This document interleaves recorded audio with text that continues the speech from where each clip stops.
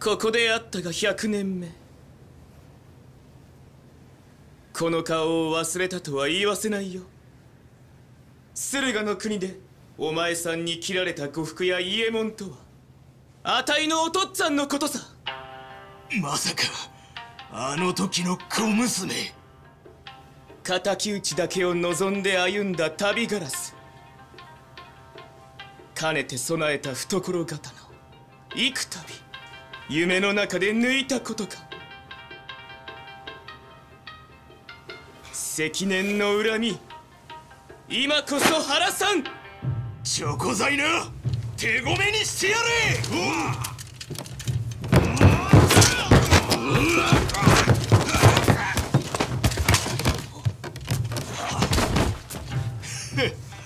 女ごときに俺が切れると思っているのか。昨今江戸を騒がす辻斬り銀次の正体は何を隠そうこの俺よ!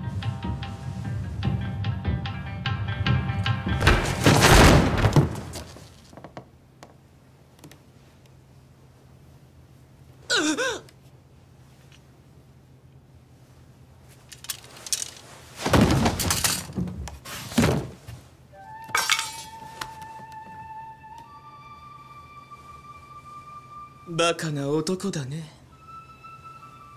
筋切り銀次は値なのさ。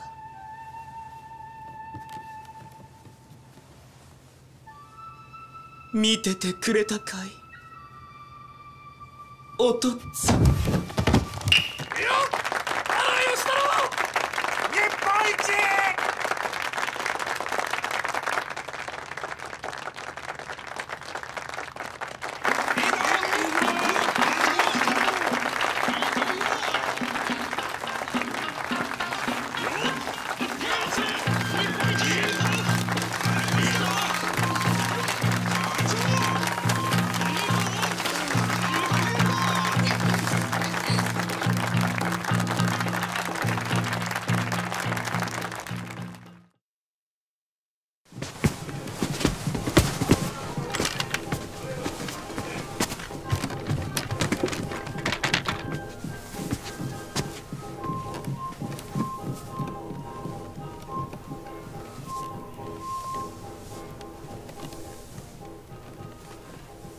マスミ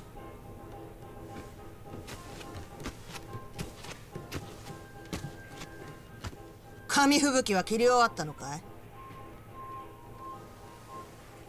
い？いえ。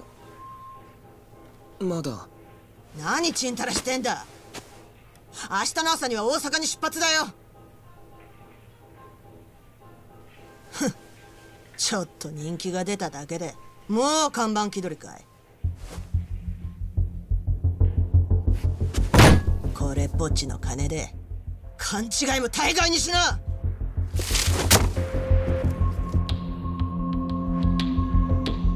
生きがるんじゃないよガキのくせに。なんだいその目つき。それが母親に対する態度かい？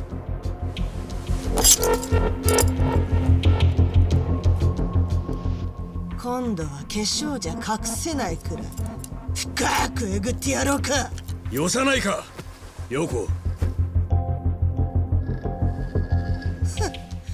あんたに指図される筋合いはないよ。誰が工業を取ってきてると思ってんだい。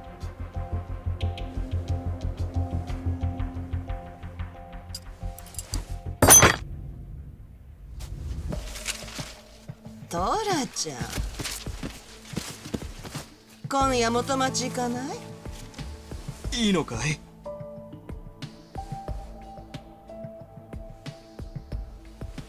構うもんか。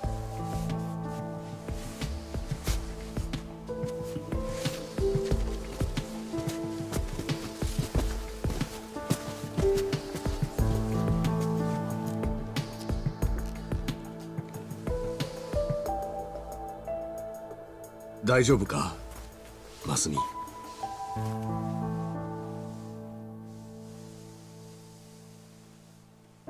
紙吹雪は心配するな。明日トラックの中で父さんが切っといてやる。父さんな芝居は三流だが紙吹雪を切らせたら一流って昔から評判さ。だから今夜は繰り出すぞ。横浜中華街。どうだ？うん。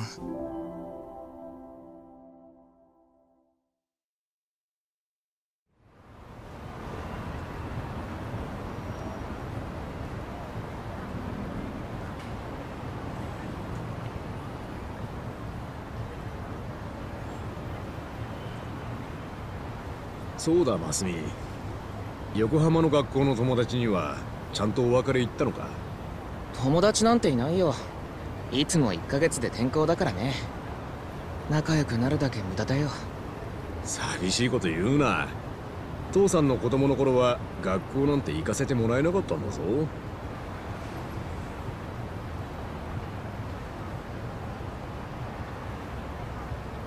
よし。今日は奮発するか。見ろ。中華料理の王様北京ダックだ。天日に干したアヒルを丸ごと釜で焼くんだ。表面の皮がパリパリでそりゃ絶品らしい。でも絶対に高いよ。中華料理の王様なんて。いいんだよ。今日は特別な日だろ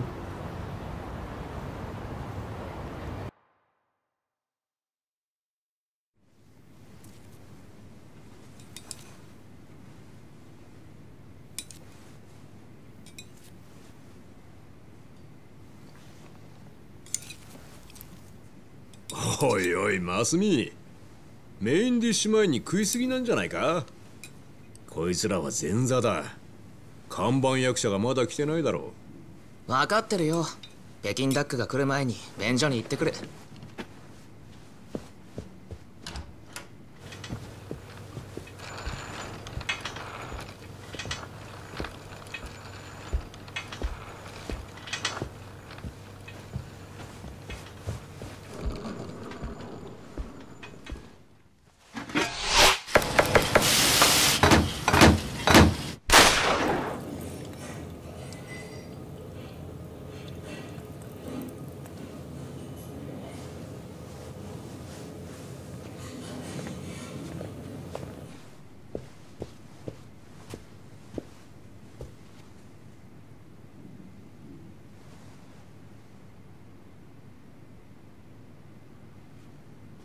父さん？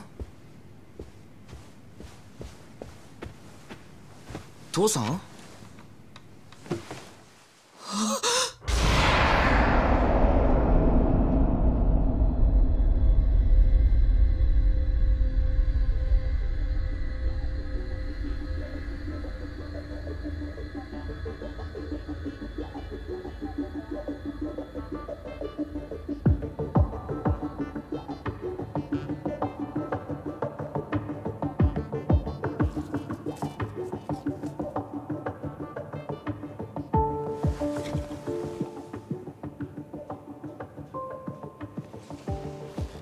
20世紀最後の日か。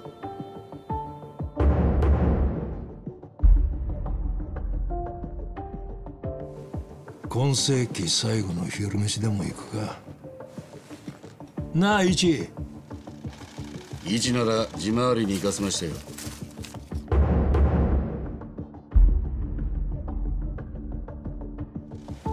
大晦日なのにか田室町に盆も正月もありませんよ。町が動いてる限り取れるものは取る。それがしのぎの鉄則ですから。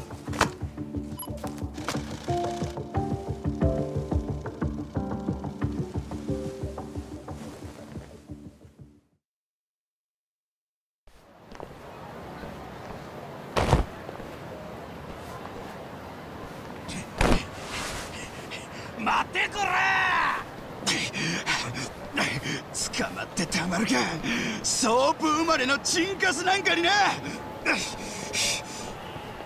いい加減にしろ。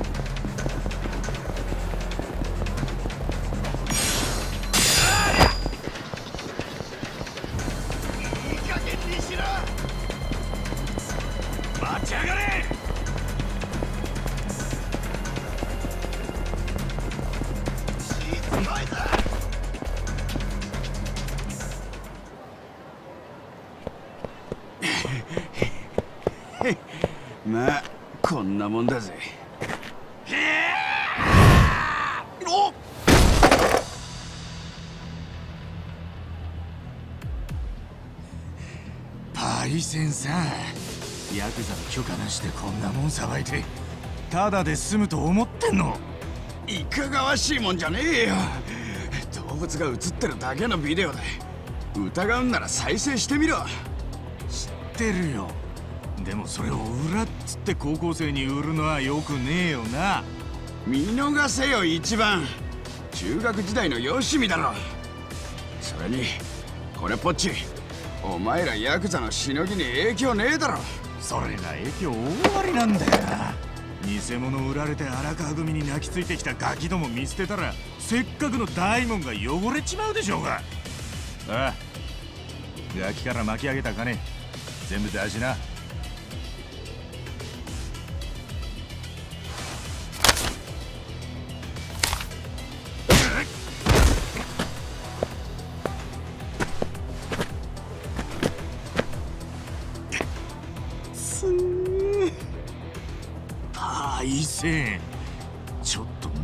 すぎなんじゃねえか。なめてんのてめえだろうが。三下のくせにや。覚悟しとけよさてどうしたもんかね？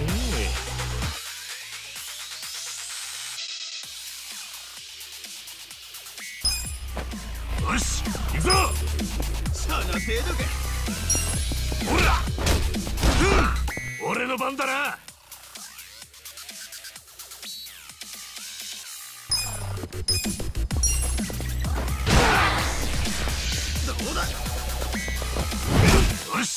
ぞ。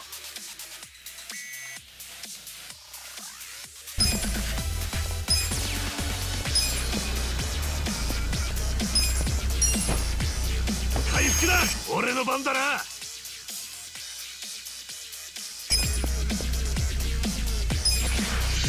なめんなよ。これで。よし行くぞ。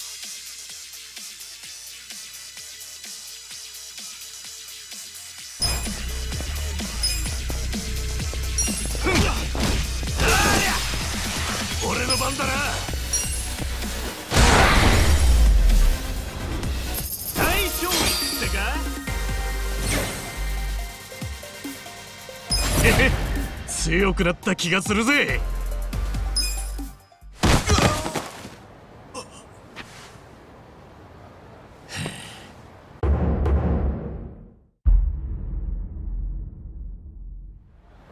一番の兄貴大丈夫っすか？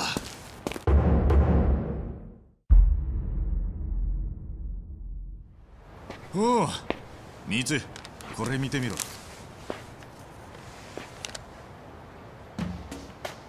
うひょー。結構えぐい額稼いでたんすねこいつ。こいつ昔から悪い知恵だけはたげてんだ。でもやりましたね。今日のしのぎのノルマ一発で達成じゃないですか。何言ってんだ？これは高校生に返してやれ。え？せっかく取った金を？そうだよ。わざわざ。こいつに騙されたガキを全員見つけて？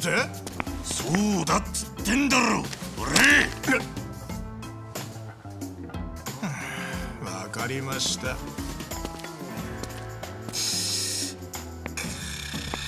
のうそうだミツ。ここどうなってる？メリケンサックで不意打ち食らっちまってな。ああ単行部できちゃってますね。ちげえ。紙だよ紙。パンチ当て直したばっかなんだせっかくいい形できたのによ。そんなこと言ってる場合っすか兄貴あこっちの方も整えてぶっつけ触んすすいません。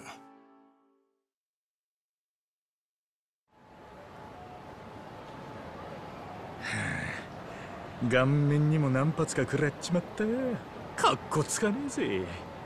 いつものことじゃないですか。兄貴ド M ですから。ド M? 俺が？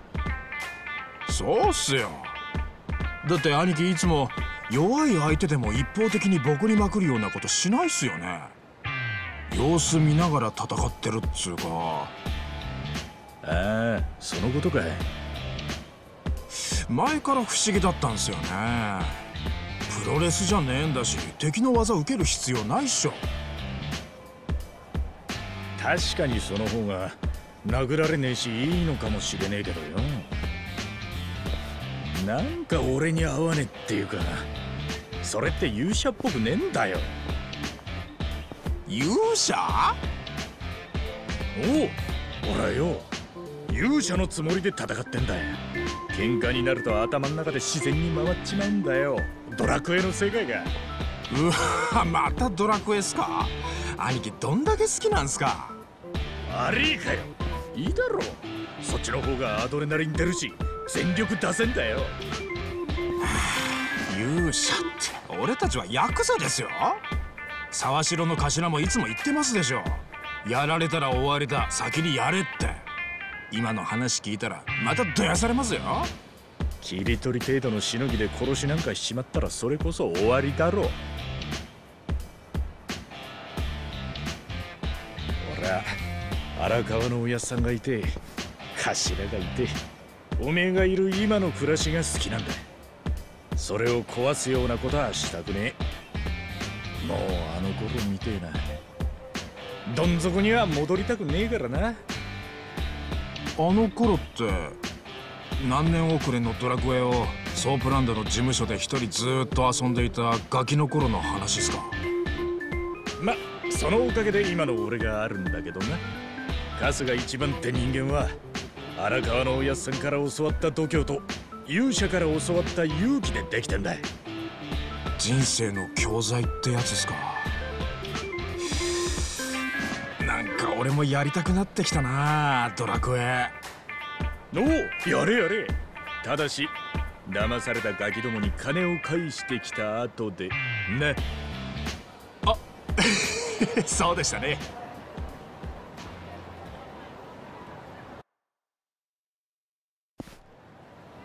じゃあ俺この金返してきますね。ああ終わったらタバコ屋の前で落ち合おうぜよし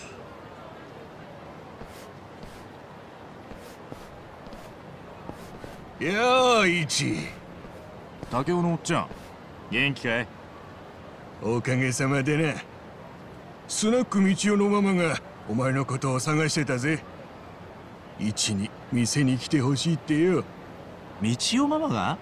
俺に何の用だい？それは知らんがね。とにかく伝えたぜ。ママが何かのトラブルに巻き込まれたのかもしれねえ。決まっていくか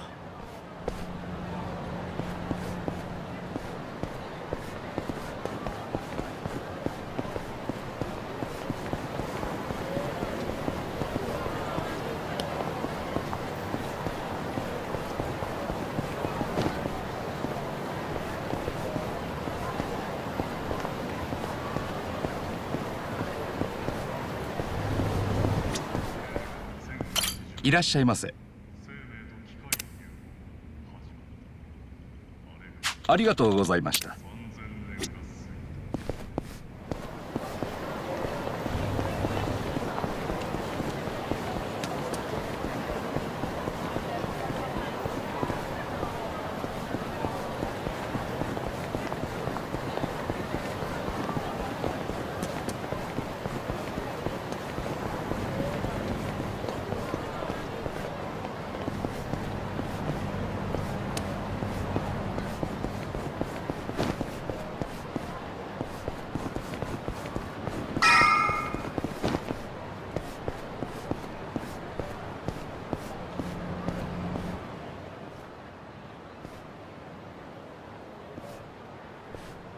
よあイチ来るのを待たよ。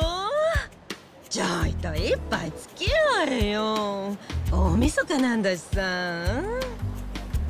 俺に用事って飲み相手のことか？うん師走に暇なやつなんて。あんたくらいしか思い浮かばなくってね。何言ってんだ俺は今しのぎの最中だよ。何がしのぎの最中さ。かっこつけやがって。うるせえこのアル中あたしゃお前が生まれるずっと前から飲んだんだ。だけどこの通りピッピンして。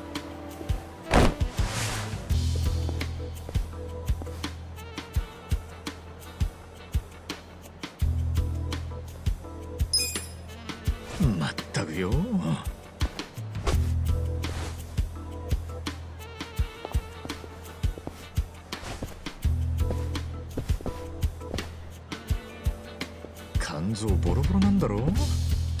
にしねえと本当に死んじまうぜ悪かったよ。ありがとうね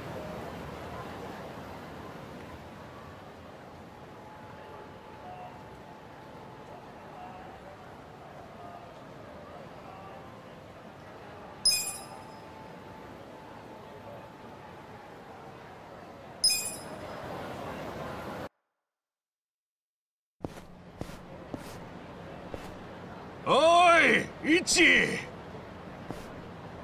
竹雄のおっちゃんよ。日曜ママは酔っ払ってるだけじゃねえか。今さら何言ってんだ。この20年白くのママなんて見たことねえよ。それよりよ桃源郷でトラブルみたいだ。すぐに行ってやれよ。桃源郷で？何があったんだ詳しくは分からんがソープなんだからいろいろあるだろう。客と女の揉め事とかな早く行ってやれ分かった。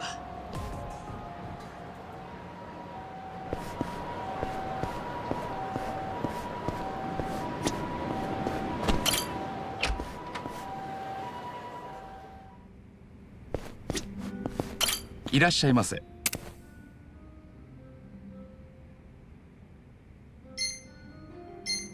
ありがとうございました。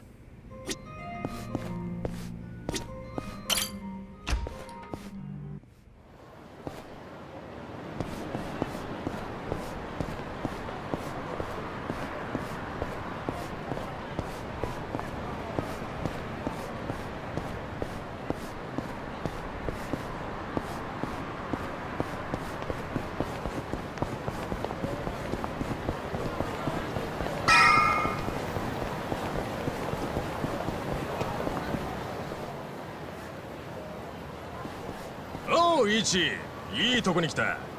大変なことになっちまってよ。どうした？店の便所が詰まっちまってよ。でもトイレのすっぽんが見当たらないんだよ。トイレのすっぽん？うんこ吸い出すゴムのカップだよ。荒川組の事務所にないか？あったら貸してくれよ。ふざけんな！ヤクザは便利屋じゃねえぞ。なめてんのか？なんだよその言い方はお前が散々漏らしたクソを片付けたのは誰だと思ってんだよ。赤ん坊の時の話を持ち出すんじゃねえ。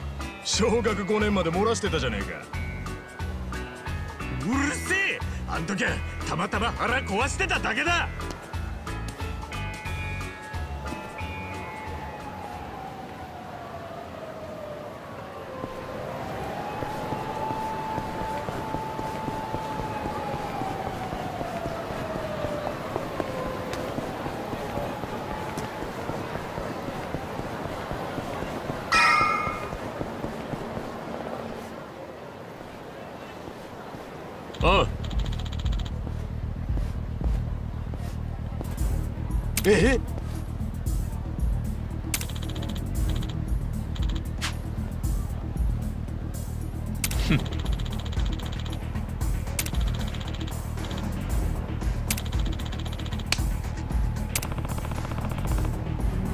おい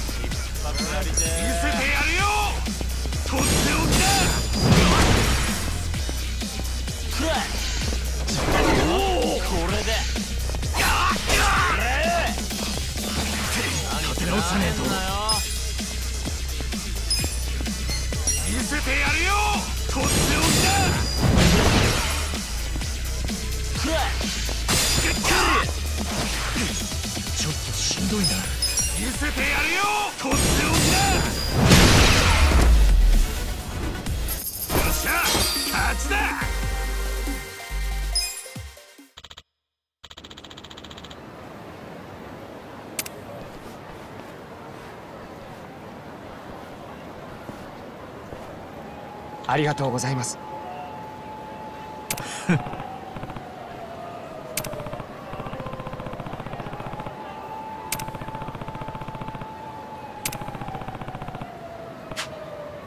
はい